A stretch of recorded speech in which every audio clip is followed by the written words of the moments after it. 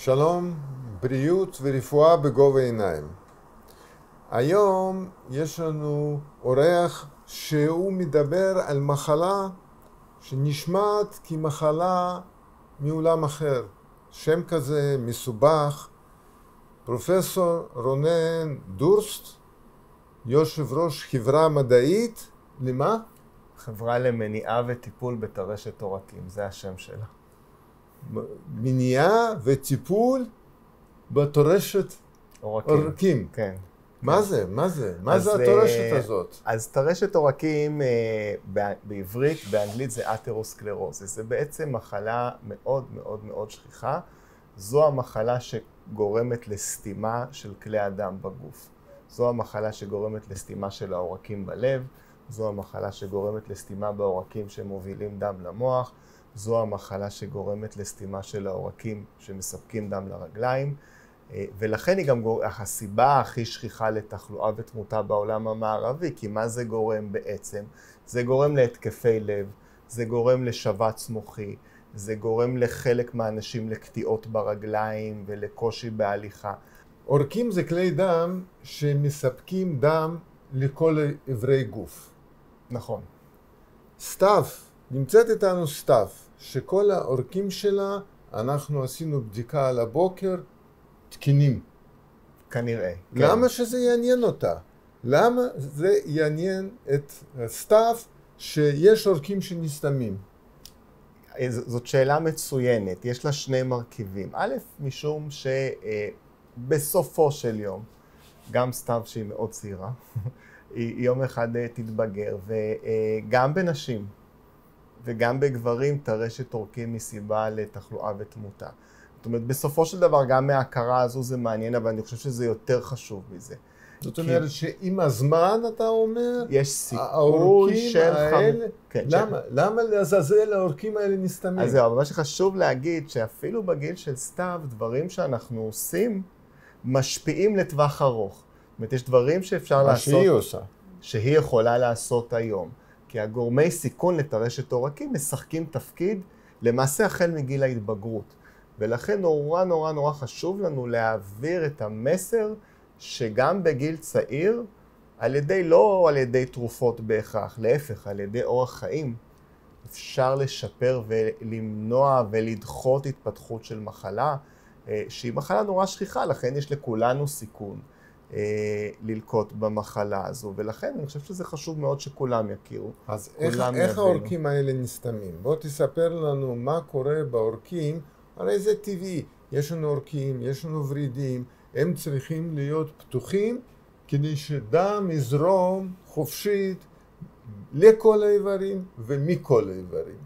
אז מבחינה זו, למה פתאום יש מחלה כזאת שהיא דווקא פוגעת בכלי דם האלה? אז המחלה הזו אה, נגרמת בסופו של דבר משני תהליכים. תהליך אחד זה תהליך של שקיעה של שומנים, בדרך כלל מסוג LDL. מה זה LDL?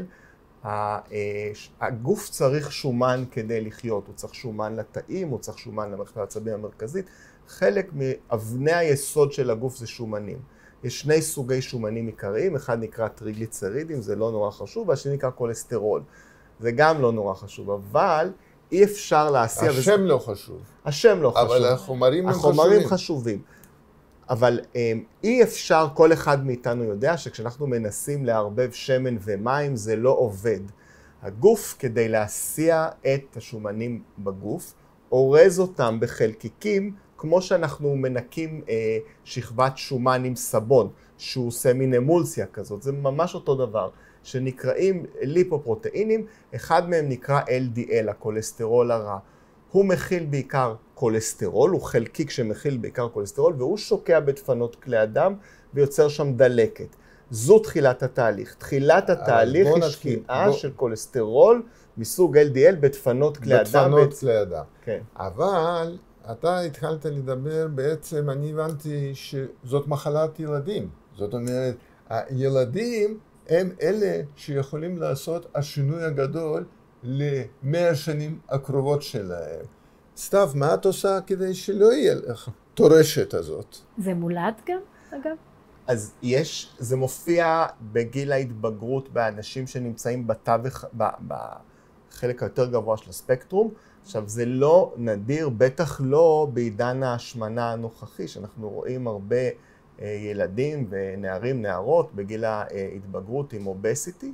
לחלקם מתחיל תהליך תרשתי, ובנוסף, אנחנו יודעים את זה לדוגמה מנתיחות של חיילים, שבחלק לא קטן יש כבר התחלה של תהליך תרשתי, ובאנשים שיש להם נטייה תורשתית, יש מספר קבוצות של מחלות שיש להם אה, רמות כולסטרול סופר גבוהות, הכי שכיחה נקראת היפרקולסטרולמיה משפחתית, שהיא יחסית מחלה שכיחה. אה, אז יש לזה מרכיב תורשתי, ויש לזה גם מרכיב, מרכיב סביבתי, שאותו אפשר אולי לנסות להשפיע ולשנות. בעתיד אנחנו כנראה נשנה גם את הגנים כדי שהמחלה לא תתפתח, אבל זה לא בעתיד הקרוב. אבל היום אפשר להשפיע על החלק השני של הסביבה, נכון. של אורח חיים. נכון. אז סתיו, מה את חושבת את עושה כדי שלא יהיו לך עורקים סתומים בעוד כמה שנים? בעוד הרבה שנים. עוד הרבה שנים, אבל אם זה, אני בגלל זה שאלתי אם זה מולד, אם זה משהו שרואים אותו מ, מגיל צעיר יותר, בבדיקות מסוימות, אה, גנטיות. אה, אני הבנתי רק ששומנים זה המרכיב העיקרי, שאם אוכלים שומנים. יפה מאוד. שומנים. אתה דיברת על השומנים. לסוכר אין תפקיד. אז זהו, אז בואו נדבר מהם הגורמי סיכון. מה גורם לטרשת עורקים? אז הדבר הראשון והאבן יסוד זה שקיעה של כולסטרול, ולכן כולסטרול ושומנים גבוהים זה גורם סיכון. הדבר השני זה עישון. למה עישון? משום שעישון גורם להמון נזקים, אבל גם לטרשת עורקים.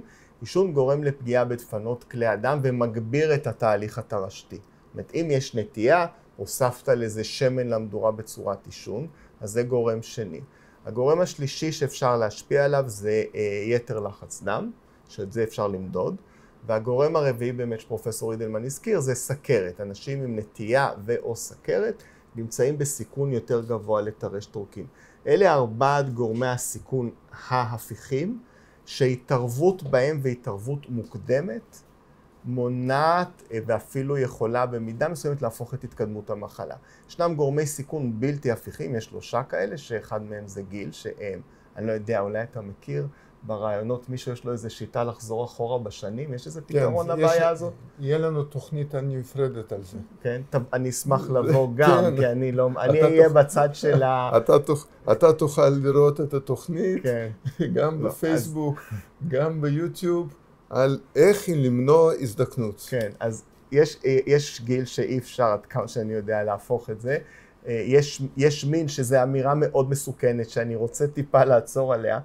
יש לגברים יותר נטייה לטרש טורקים, זאת אומרת, בגברים יש שכיחות טיפה יותר גבוהה של התקפי לב, של, של שבץ מוחי, ובגילאים מוקדמים יותר, אבל זה לא נכון להגיד שלנשים אין. גם לנשים יכולים להיות התקפי לב, יכול להיות שבץ מוחי, ואי אפשר להתעלם, זאת אומרת, זה כאילו, זה לא אוכלוסייה מוגנת בשום צורה ואופן, זה מה שאני רוצה להגיד. והדבר השלישי הוא תורשה, שעליה אי אפשר להשפיע, כמובן כל אחד נולד למשפחה שהוא נולד לה, אה, אז אנחנו יכולים לשנות, גם באנשים עם נטייה תורשתית, לשנות את הסיכוי למחלה, אבל הנטייה הבסיסית התורשתית היא כמובן קיימת ולא ניתן לשנות אותה. וזה לא רק אצל אנשים עם עודף משקל, יש גם אנשים רזים, נכון. שאצלהם יש אה, שיבוש כזה שגורם ל... למה? להפר... אז כמה דברים. קודם כל, צריך גם להגיד שבארץ עיקר ההתקפי לב בגיל צעיר זה אצל אנשים מעשנים. זאת אומרת, בדרך כלל, בדרך כלל, בדרך כלל אנחנו רואים מישהו בא צעיר עם התקף לב, אני קרדיולוג, אז מי שבא עם התקף לב בגיל צעיר, בדרך כלל יש רקע של עישון. הדבר השני המאוד שכיח זה באמת נטייה תורשתית להפרעה בשומני הדם, שאותה אפשר היה לגלות. בבדיקות דם פשוטות בגיל מוקדם יותר ולשנות אותה ולהפוך את הסיכוי להתקף לב. אה, אה, וכמובן יש עוד דברים יותר נדירים שפחות כדאי להתייחס, וכמובן יש את הסכרת, סכרת ולחץ דם. כל הדברים האלה אבל הם הפיכים, הפיכים. אחד מהכאבי לב של כולנו, זאת אומרת זה מישהו שמת באופן פתאומי אה, בגיל צעיר, והרבה מאוד פעמים אפשר היה למנוע את הדבר הזה. מוות פתאומי במגרש כדורגל. יכול להיות מספר סיבות. אבל אה, אחד מהסיבות זה יכול להיות שיש לו באמת, למרות שהוא ספורטאי, למרות שהוא מתאמן, שיש לו שינויים בתוך העורקים האלה. אז אה, הוא צריך להיבדק. אתה ממליץ שגם אנשים צעירים בשלב מסוים יעשו בדיקות מסוימות? ההמלצה של, אה, יש פה, השאלה מורכבת משני דברים, אבל בואו נדבר שנייה על המניעה של טרשת עורקים. אנחנו ממליצים, ההנחיות הישראליות אה, ממליצות וגם העולמיות, לפחות פעם אחת, לבדוק פעם ראשונה בגיל 35 גברים ונשים, אה, מגיל 35 לבדוק כולסטרול.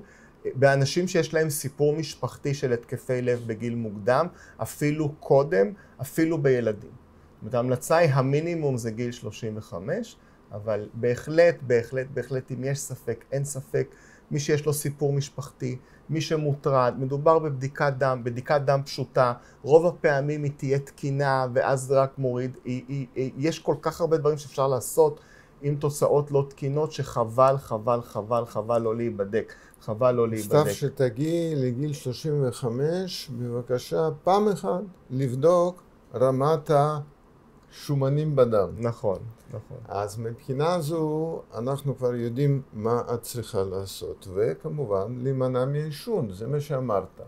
נכון. אבל לגבי אנשים בגיל יותר מתקדם, כשכבר התחיל אצלהם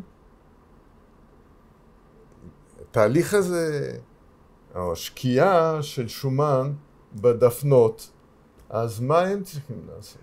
אז האגרסיביות הטיפולית. זאת אומרת, אנחנו בוחרים את האסטרטגיה הטיפולית לפי מידת הסיכון של הבן אדם.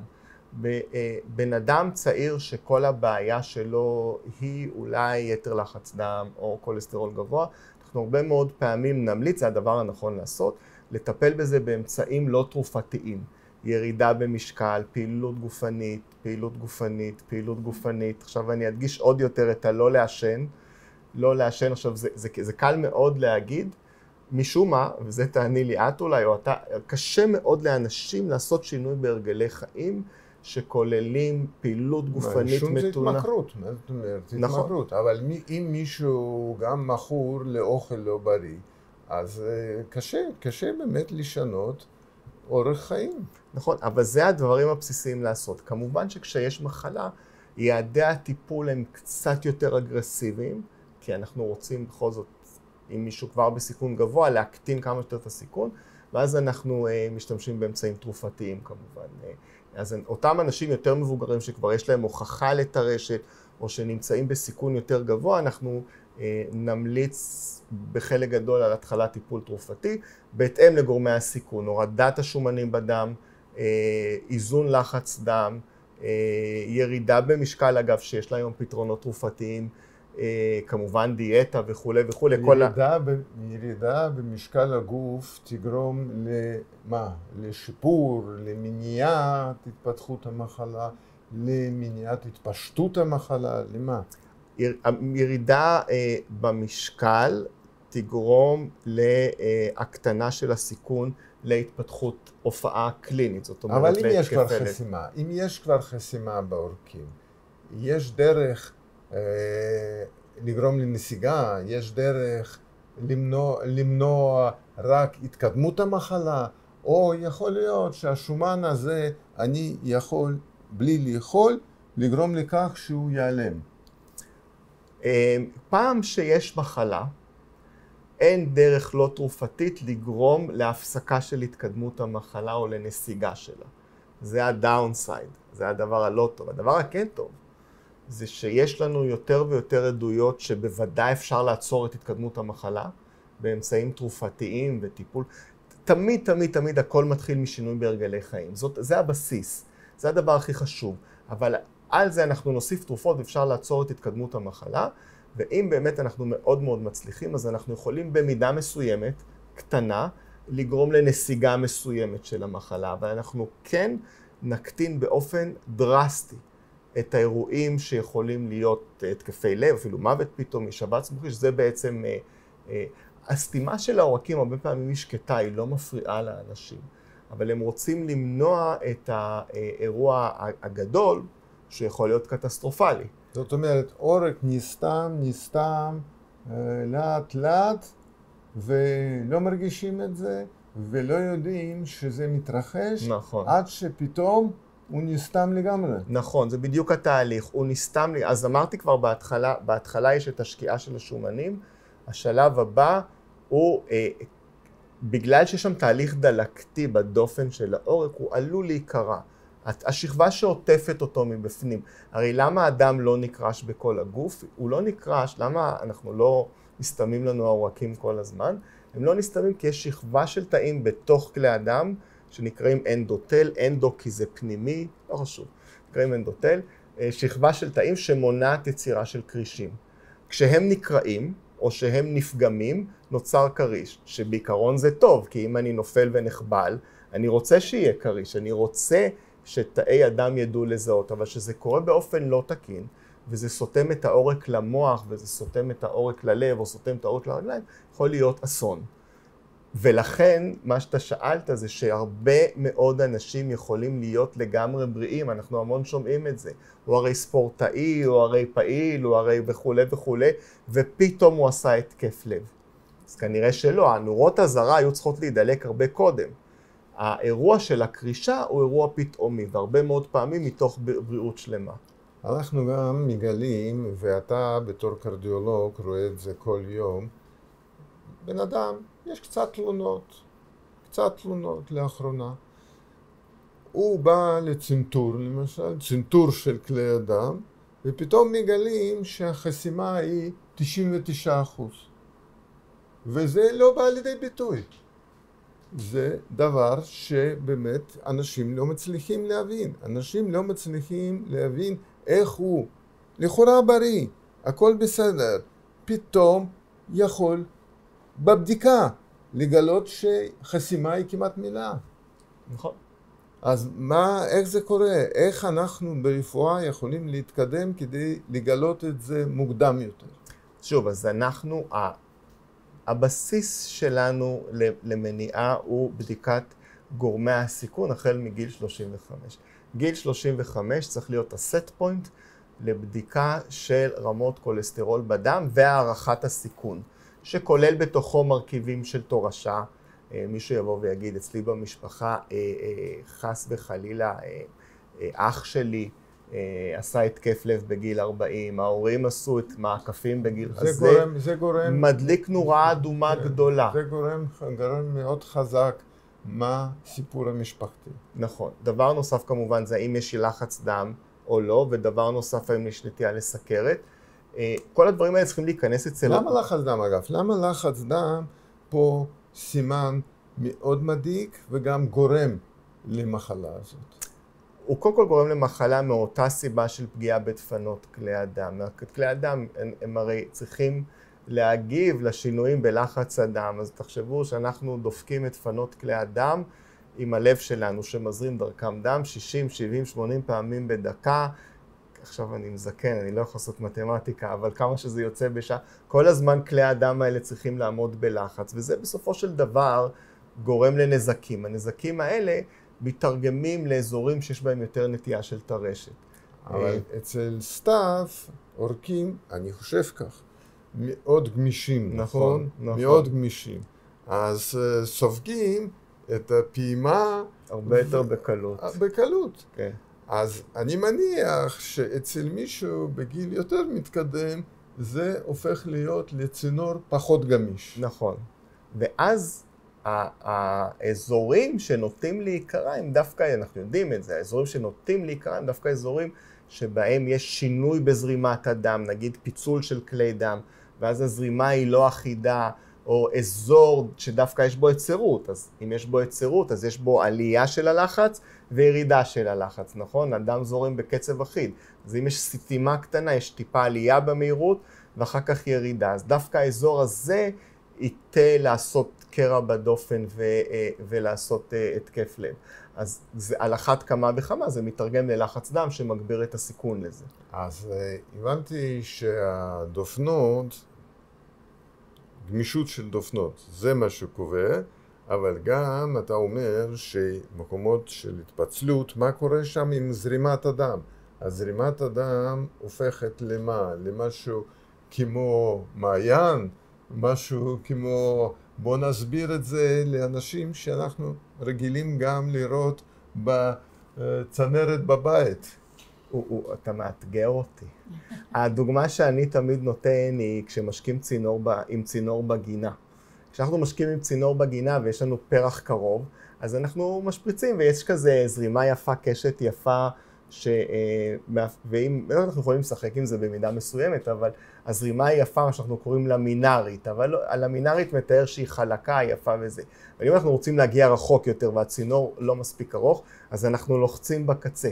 ואז נוצר טיזה, נכון? זה משפריץ יותר רחוק. למה זה משפריץ יותר רחוק? כי אנחנו יצרנו לחץ. זאת אומרת, אנחנו אלינו יצרנו מפה לחצים איפה שהאצבע. בעצם, אבל האצבע בעצם צריכה... בעצם טרשת, טרשת, גנבנו נכון. לטרשת, אם האצבע הייתה חלשה מספיק, היא הייתה עפה עם המים, נכון? היא יכולה לעוף. אה, אז, אז זה בדיוק מה שעושה הטרשת. היא עושה אה, היצרות קלה עם התהליך דלקתי, אז גם זה לא רק שיש היצרות, אלא גם היא קצת רכה יותר, היא פריחה יותר, ושם ייווצר הכריש. וכשהוא ייווצר, אה, פחות טוב, עדיף שלא ייווצר. אז לסתיו אנחנו מקווים שיש כבר תוכנית בגיל 35 לעשות בדיקות. אבל יש לה משפחה בבית עם נשים, אני מניח, יותר מבוגרים. אז... אה, שגם עם בעיית לחץ דם. אז עם בעיית לחץ דם, שזה גם סימן שיכול להיות שהעורקים פחות גמישים. נכון. לחץ דם עולה בגלל שאותו צינור הופך להיות לצינור פחות גמיש. אבל אה, היא עכשיו תבוא ותספר מה שהיא שמעה, מה שהיא למדה פה, ואז מה היא תמליץ עכשיו לאנשים יותר מבוגרים, חוץ מלהיבדק אורח חיים בריא. אגב, לגבי אורח חיים בריא, חוץ מדיאטה אמרת, אמרת אה, התעמלות, פעילות גופנית. מה עוד אפשר לעשות? אז אני אגיד שוב, קודם כל אנחנו ממליצים על פעילות גופנית, כשהמספר הוא לפחות 150 דקות בשבוע, בסדר? אז מתרגמים את זה, אה, מתרגמים את זה, זה יכול להיות חצי שעה כל יום. עכשיו יש שעונים חכמים, אז אני נגיד שמתי לי כיעד חצי שעה כל יום שהוא יספור לי פעילות גופנית. אה, אז נגיד היום כבר עברתי את זה. אה, אבל זה, אה, עכשיו לא זה לא חייב... לא מתחילים לרוץ מיד, לא, מתחילים לא. ללכת. אנחנו מדברים על פעילות גופנית מתונה, וצ... ומה זה מתונה? צריך להפעיל את השכל הישר. אף אחד לא מתחיל בגיל 55 לרוץ מרתון כריצה ראשונה, זה לא מתקבל על הדעת. הליכה, אליפטיקל, שחייה, גם מה שעושה הנאה זה גם כן חלק מהעניין, אחת הבעיות זה ההתמדה. שלוש פעמים בשבוע, ארבע פעמים בשבוע, לדבר הזה יש השפעה מאוד מאוד מאוד משמעותית. 150 דקות בשבוע. פעילות מתונה, מי שעושה פעילות... מינימום, מינימום. מינימום. אפשר גם מ... יותר. אפשר יותר. אה, ההנחיה היא שאנשים עם פעילות בעצימות יותר גבוהה, כמו, אני יודע, טניס, אה, ריצה וכולי, אפשר פחות. אבל הליכה, אה, שחייה איטית, אופניים, לז'ר, אה, אה, לפחות חצי, לפחות 150 דקות בשבוע, אפשר לחלק את זה בדרכים שונות. אבל עדיף כמה פעמים בשבוע, ולא נגיד בשבת להגיד עשיתי את כל המאה חמישים, זה פחות.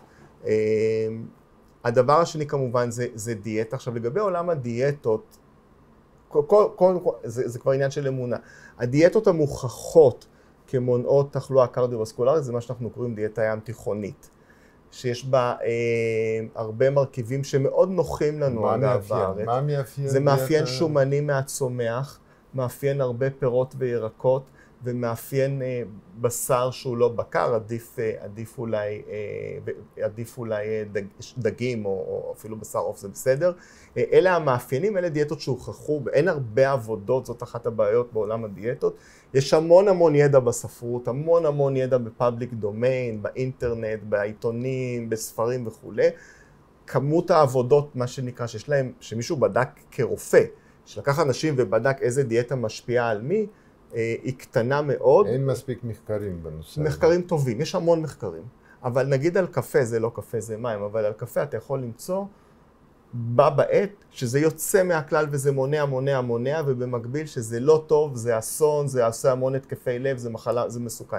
בוא ננסה לכמת, בוא ננסה לכמת. כמה אתה היית ממליץ לאכול פירות וירקות ביום? אה, אני הייתי ממליץ לאכול רק את זה. אבל uh, אני חושב שצריך בגלל לאכול... זה יש פה, יש פה פירות. נכון, אבל נראה לי זה קישוט. מה יקרה אם נאכל את זה? אני לא נאכל, יודע. נאכל, אפשר לאכול. אתה אחרי שנסיים, את, את, אה, אתה תוכל לאכול את זה. אה, אני, אני חושב שאנחנו רוצים לפחות שני פורשנס ליום או משהו, זה צריך לבדוק את, אבל שני פורשנס ליום. מה זה פורשן? חצי כוס, זה הפורשן. חצי כוס כן. של מה? של פירות וירקות, כן. אבל אני מאוד לא אוהב את הכימות הזה. זאת אומרת, אני כן אוהב... אני, אני אגיד לך מה אני אוהב להגיד, ואני תלמיד גדול של אה, חוקרת מבן גוריון שקוראים לה איריס שי.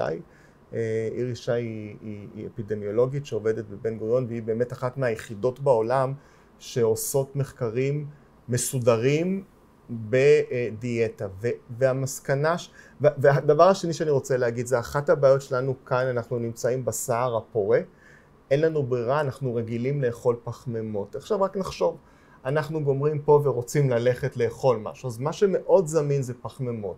בורקס, קרואסונים, אה, לאפות, פיתות, זה. אנחנו חלק ניכר מהקלוריות שלנו, זה גם זול יותר וזמין יותר, זה פחמימות. זה טוב או זה לא פחות טוב. הדיאטה הים התיכונית יש בה פחות פחמימות. אנחנו רוצים להגיע בערך ל-30% מהקלוריות מפחמימות, ובדרך כלל בישראל זה בין מעל זה. אנחנו רוצים כמה, לנסות במחשבה, בתודעה, להוריד פחמימות ולהעלות את השימוש בפירות, ירקות, שומנים מן הצומח, שמן זית, כולם מאוד אוהבים, זה שמן מצוין, אה, לא מרגרינות וכולי. אה, זה, זה פחות או יותר, כל התורה על רגל מה אחת שיש זו התורה. לך פה, מצוין. זה מספיק לאכול היום. כן. זה. מעט מדי לדעתי, מבחינת אז כן, אבל, צריך- אז- אבל זה לא רע, זאת אומרת, אם זה הבסיס ועל זה טיפה מוסיפים, זה מעולה. אז אנחנו עכשיו ידענו לכמת כמה צריך אה, להתאמץ, פעילות אה, ספורטיבית אה, ביום, 150 דקות. אנחנו יודעים שאתה אומר קצת יותר ממה שיש לנו פה, כן, וקצת פחות מהפחמימות. כן. אבל גם צריך הרי ירקות לאכול. בוודאי, עדיף ירקות, כי יש בהם פחות סוכר. כן, כן. אז זה מה שאנחנו הבנו.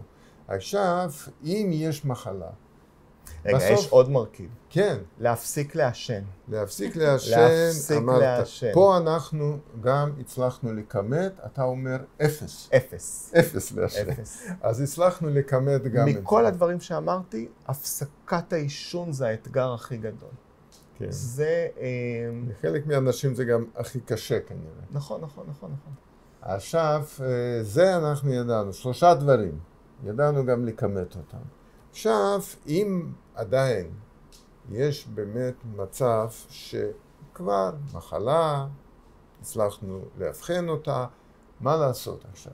אחרי כל הדברים האלה, להפסיק לעשן, לאכול, מה שאמרנו, וכמובן פעילות פיזית, מה שאמרת.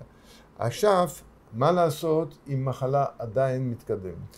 במקרים שבהם יש הוכחה לקיום מחלה, עכשיו איך נדע שלמישהו יש כבר טרשת עורקים, או שכבר היה לו אירוע, זאת אומרת מישהו שכבר היה לו התקף לב, היה לו אירוע מוחי, אז אנחנו, אז אנחנו יודעים שהוא חולה. אה, מי שאנחנו ראינו בהדמיה שהוא חולה, זאת אומרת שעשינו לו במקרה CT או אולטרסאונד או כל הבדיקות האלה שאנחנו עושים, וכתוב יש טרשת עורקים, כן חוסמת, לא חוסמת, זה לא משנה, הוא כבר חולה. האנשים האלה, אנחנו מתייחסים אליהם כאנשים בסיכון מאוד גבוה למניעה שניונית, לא ראשונית. ראשונית זה שאין מחלה, שניונית זה כבר יש מחלה ואנחנו רוצים למנוע ממנה להתקדם.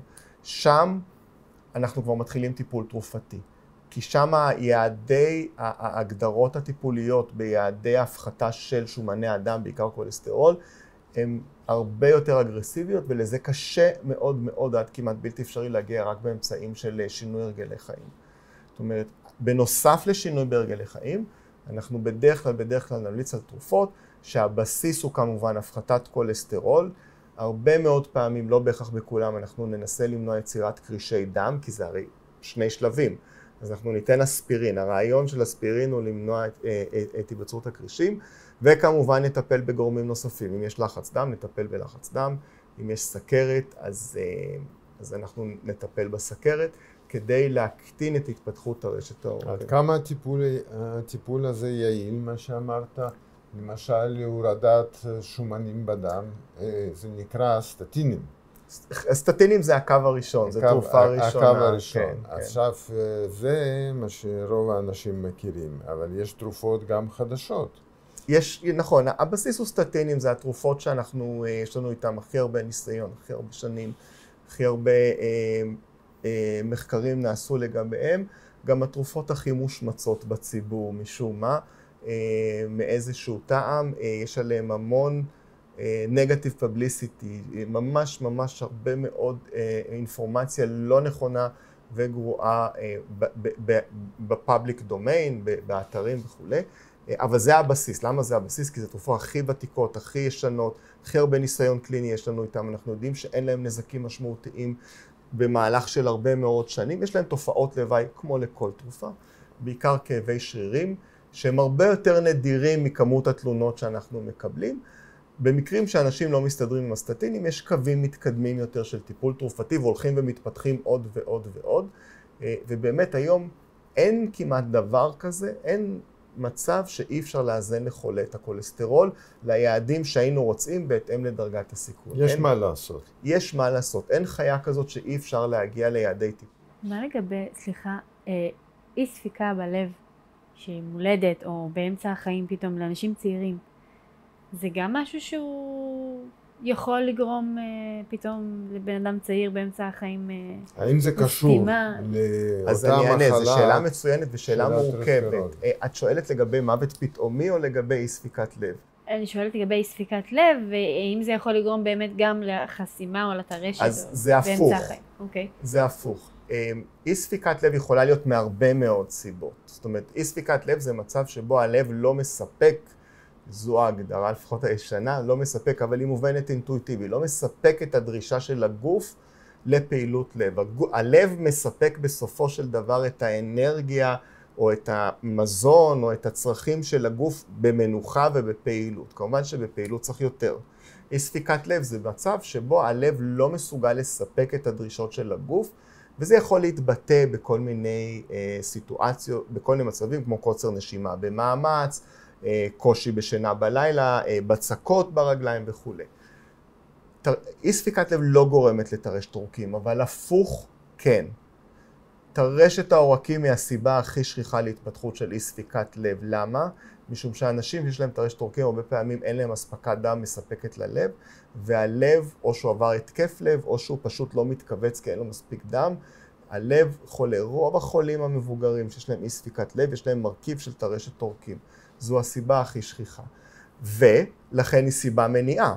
זאת אומרת, אילו היינו מטפלים בטרשת העורקים החל מגילאים הצעירים ומונעים את ההתקפי לב וכולי, הם לא היו מגיעים למצב של אי ספיקת לב בגילאים מתקדמים אבל אם יותר. זה מולד למשל, כי זה קורה די הרבה עכשיו, אה, בזמן האחרון אני שומעת, מה, על אי ספיקת על אי לב? ספיקה בלב, זה, מה... זה תלוי הסיבה, יש מה סיבות עושים? אחרות, זאת אומרת, אם זה, יש נטייה גנטית לאי ספיקת לב, יש מומי לב מולדים וכולי, אלה דברים אחרים שאז צריך לטפל באי ספיקת לב, זאת אומרת, יש טיפול לאי ספיקת לב. מה הטיפול? הטיפול לאי ספיקת לב הוא, אמ, אמ, יש לו הרבה מאוד מרכיבים, יש גם סוגים שונים של אי ספיקת לב. כן. אבל המרכיב אחד הוא הורדה של אה, אה, פשוט נוזלים על ידי משתנים. מרכיב אחד זה הורדה של לחץ הדם, מה שאנחנו קוראים afterload. על ידי, ולמה זה ככה? כי אם הלב צריך להתכווץ, הלב יתכווץ כנגד התנגדות. ההתנגדות היא לחץ הדם, אז אנחנו מורידים את לחץ הדם.